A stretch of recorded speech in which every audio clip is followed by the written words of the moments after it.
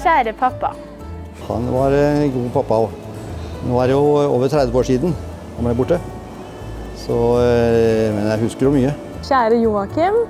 Eh, takk for at du er en omsorgsfull og leken og kjærlig pappa, og den beste pappaen for eh, jentene dine. Takk for at du alltid stiller opp for alle barna. Vi er kjempeglad i deg. Selv etter 30 år så er det mange ting vi tenker tilbake på.